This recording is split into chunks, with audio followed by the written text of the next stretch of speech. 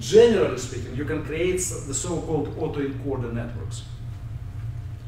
Uh, so, uh, like what you see here, when you use the linear one, you can have a network where you have the same outputs as the inputs, and you put some units in the hidden layer, and you start training that network, right?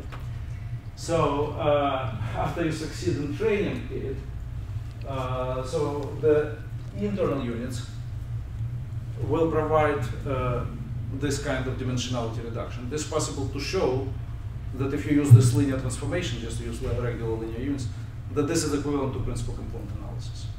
So it is actually no different. So when you're trying it, just you are optimizing and finding it in this way. You can do nonlinear transformations. So they have these encoder and decoder units, right? So if they can do sigmoids, they can do multi-layered networks and then can do this stuff.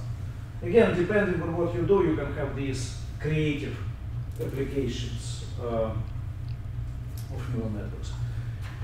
Now, another problem is uh, that when you are dealing with uh, inputs, with, the, uh, with applying neural networks uh, to deal with the phenomena that are not points in time, that have time duration. So a typical example would be when you train neural networks to recognize speech. You see, so the input that you're trying to recognize actually comes over time, right? So it may be uh, the same sensor that picks up the input. But what you have to feed are the readings of that sensor in consecutive time intervals.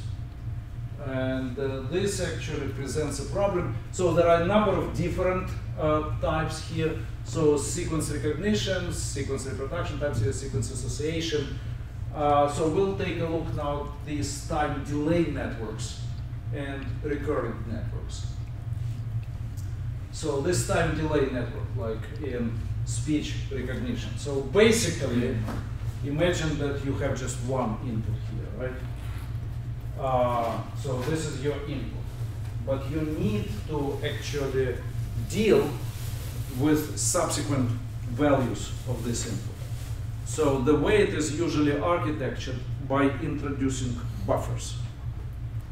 So you read the input, it goes into the buffer, waits for the, until the next come, then it moves to the next one, right? So with delay until you complete this thing, or you say you say try to recognize a certain sequence of sounds, right? And then you feed it into your, your neural networks. So this is how it is uh, typically a hardware implementation is done this way. And uh, so uh, it's basically just trying to, it's an attempt to reduce the problem to what we had before, right? So here we pretend that those values of the same input at different moments in time are just different inputs. Okay? And this is how we deal with them. Uh, okay, uh, there are different types of recurrences. So what is a recurrence? A recurrence is a feedback loop. Recurrence is a feedback loop. A feedback loop is when the output of a unit feeds back either into the same unit, right? Uh, like you see here, or here, output, or to the units below in the hierarchy. now, this is the most drastic deviation from our basic architecture, because our basic architecture is feed-forward networks, right? Uh, and this is definitely doesn't look like a feed-forward architecture anymore. Uh, how do people deal with this? Well, the same trick. So basically, you know, you have to reduce it to what we had before. So what we know how to deal with are feed-forward networks. So the methods that we use are some kind of variants of backpropagation. Right? To be able to use backpropagation, you need a feed-forward network, right? Because you are propagating back. If you have feedback loops, you cannot do that, right? Because the error uh, just goes back and forth. So uh, what do you do this? So you have to try to create on this basis a feed-forward network that operates closely to what this thing does, right? So that's the idea.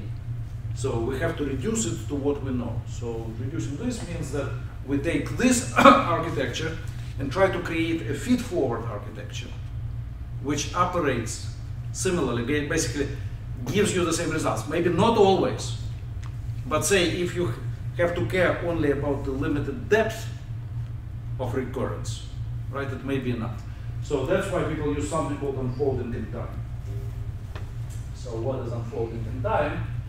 You basically, you add additional duplicates. So you're duplicating the units and the input and feeding them in the subsequent ones. So if you are dealing with four recurrences here,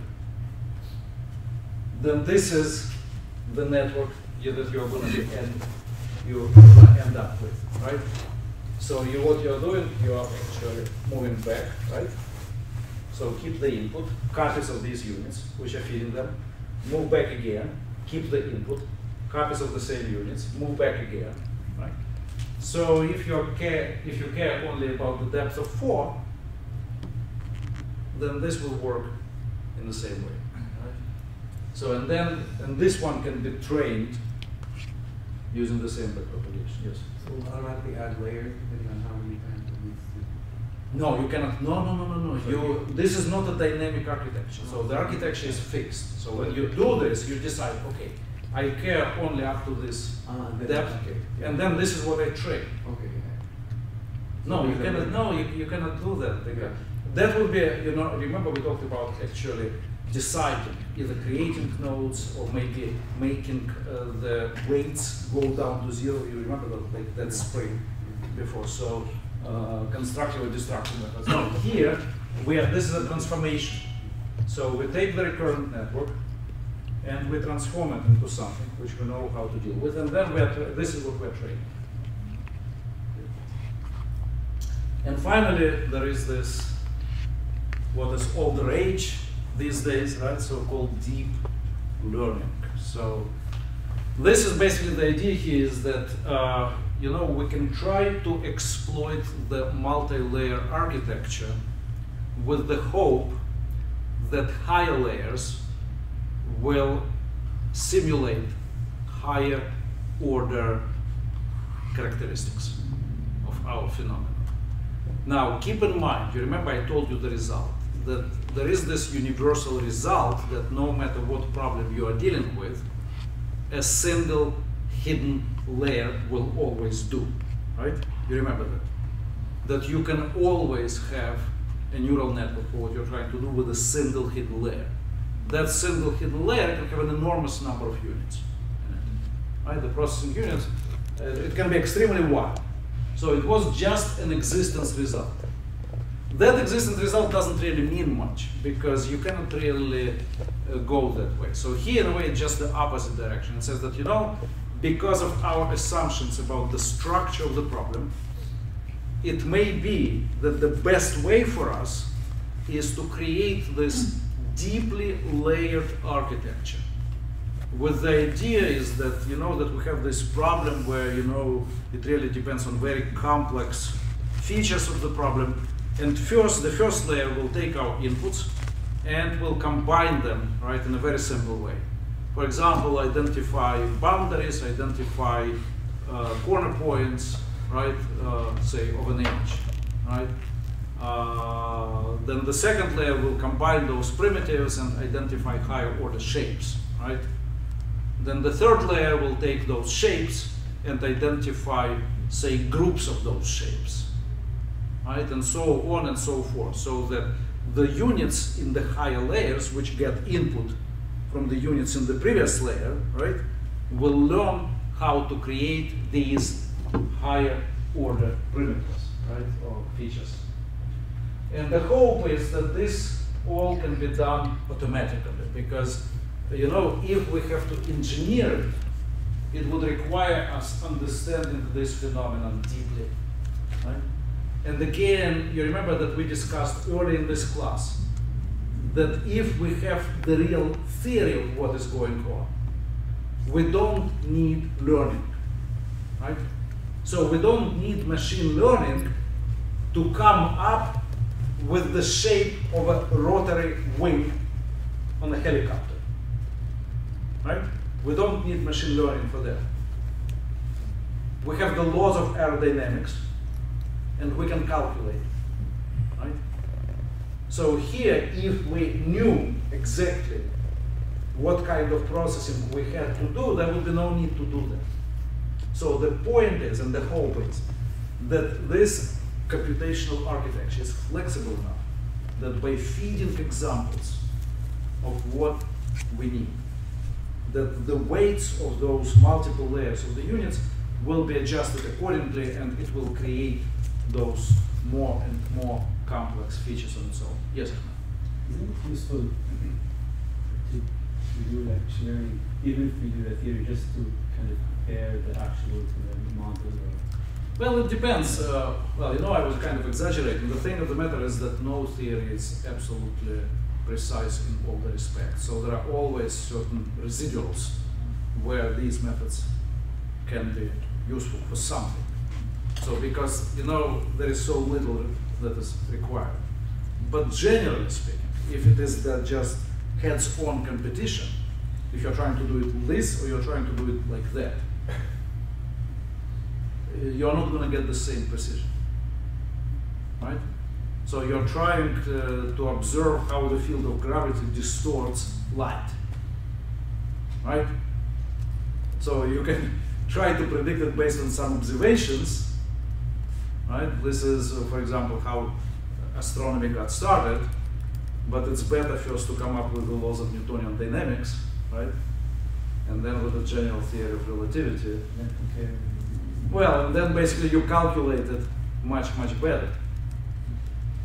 Right? So when we have the actual laws, that's unbeatable.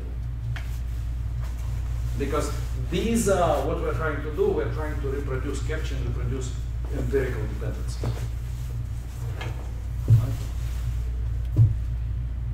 By the way, some of those people, if you take a look uh, at the history of astronomy, uh, look up the guy called Kepler. Yeah, and see what he did. So he was actually amazing now in how he managed to predict all those things. But the only thing is that he didn't really understand uh, Newtonian dynamics that Newton did, who came later, right? But you know, the, the thing is that actually if there were no Kepler, there is a good chance that there would be no Newton. Because uh, actually Newton knew what Kepler did and uh, uh, managed to abstract it on that basis. But uh, anyway, I think we're done. Yeah. Any question? Yes. So, uh, shouldn't this be the supervised learning? It is typically supervised. Yeah. but There are some- Unsupervised manual, what does that mean? Well, you know, and in unsupervised meaning that you don't really actively create those layers. You don't say that, for example, uh, you know, if we have very good understanding, you remember we talked about locality.